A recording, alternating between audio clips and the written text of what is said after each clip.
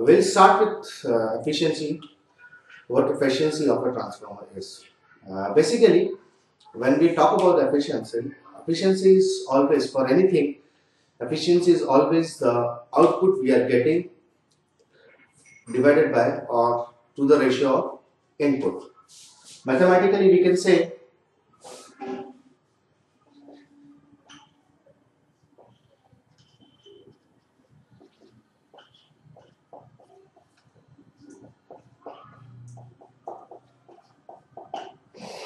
This is mathematically representation of an, any efficiency of anything that is output upon input. For transformers, we can say that whatever be the input minus losses upon your input. Why this formula came? Because of the reason that uh, maybe possible my output is not constant but my input is constant. Losses. I can have the losses.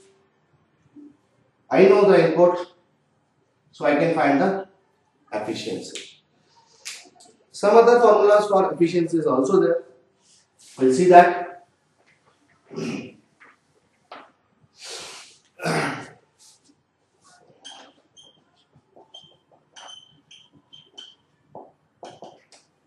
Efficiency is equals to x into full load kVA multiplied by power factor divided by your x into full load kVA plus pi plus pc.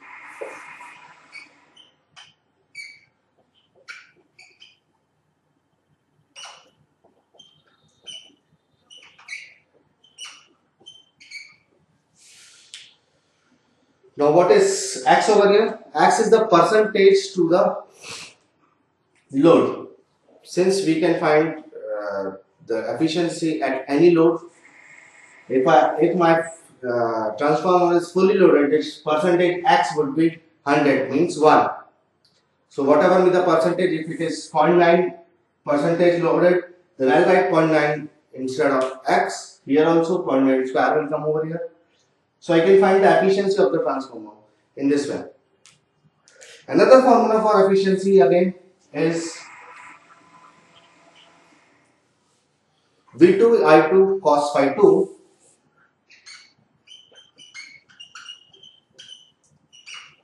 upon V2 I2 cos phi 2 again your PC plus I square R or I can say R equivalent to this way. Everything has been discussed earlier. V2 is the voltage at the secondary, I2 secondary current, cos phi 2 is the uh, power factor, phi, V2 I2, PC is the core losses, I square to RE2, RE2 is the equivalent resistance referred to the secondary side or it could be primary side also. I2 is the secondary voltage again. So these are the formulas on which efficiency we can find. We'll see some question on efficiency. Before going into that, we'll understand what energy efficiency is.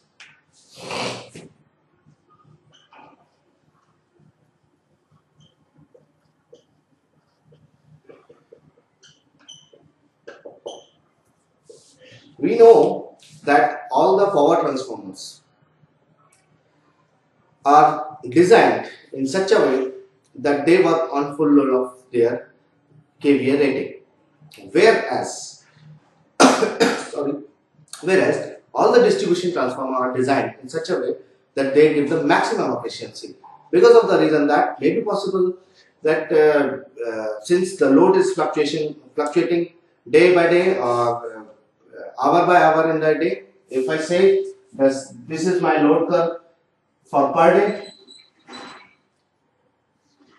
and this is my efficiency, normal efficiency, this is my average and if I design a transformer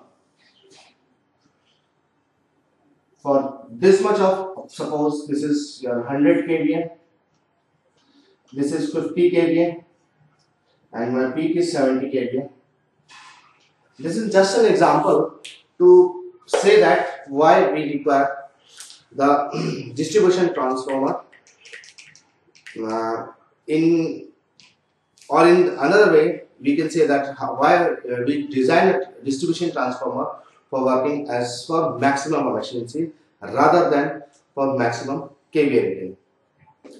If my distribution transformer is rated at 100 kVA and 50 kVA is the normal load and 70 kVA is the maximum load per day. If I design a transformer for 100 kVA, but obvious this much of kVA rating of the transformer will be wasted.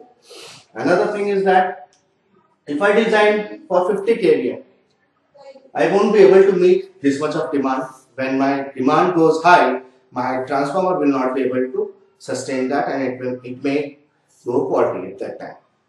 So what to do now?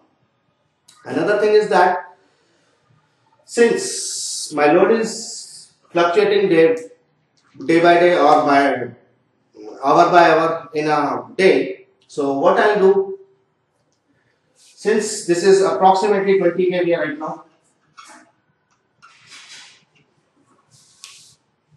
now it is well known fact that if I am using a 100 kVA of transformer for just 20 kVA of load, but obvious my kVA rating of 80 kVA is getting wasted. Another thing is that since all the core losses are happening per day in the same manner because core losses will be there even though when my load is very low that the transformer or the supply has to supply that much of core losses to meet the demand of the transformer. So I should be having a distribution transformer uh, to have the minimum core losses. So our distribution transformer is designed to have minimum core losses. So maximum efficiency of a distribution transformer always occur almost at the half of the kVA, not on the full load kVA. So one more thing comes into account that when I use this formula for finding the efficiency of a distribution transformer, I won't get the exact figure. But I need to have an exact figure when it comes to a uh, distribution. Because for distribution, I am reading each and every uh, uh, kilowatt hour ratings of the my uh, power meters and my power factor meters and all that. So I need to have something which is called as all day efficiency of a transformer. What is that, Vinci?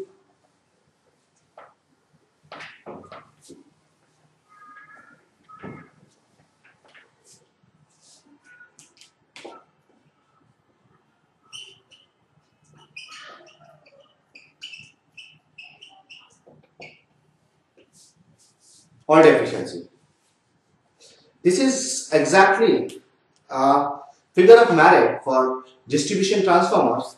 I can say that this is figure of merit for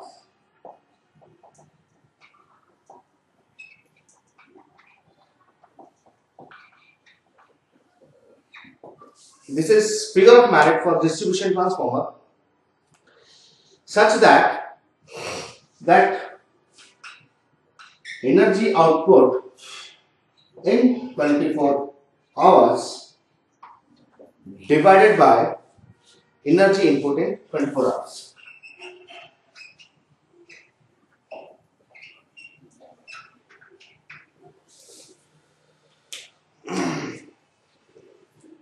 I can also say that energy output in 24 hours divided by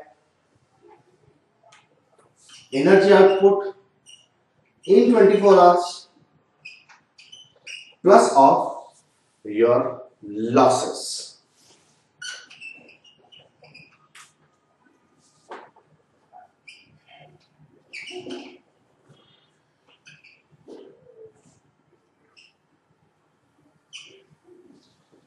This is the formula for alt efficiency for distribution transformer. Remember one thing which is very important for uh, in transformer that uh, we will have we calculating energy efficiency uh, or all day efficiency exactly of distribution transformer rather than the power transformer. Power transformers will be having a normal efficiency which we have seen in the previous this one, but all the distribution transformer will be uh, having all day efficiency, not a normal efficiency. Another thing is that we'll see in preceding uh, topics that we'll be able to find the uh, way the efficiency of a transformer is uh, taken out. There are several ways of finding out the efficiency of a transformer by certain tests. So uh, one more very important point is that all efficiency cannot be taken out by any of the method. All the methods will give the actual efficiency of the transformer. This is a figure of merit as I said earlier. This, will be taken by this formula only. So what this formula will be saying will uh, in the uh, some examples.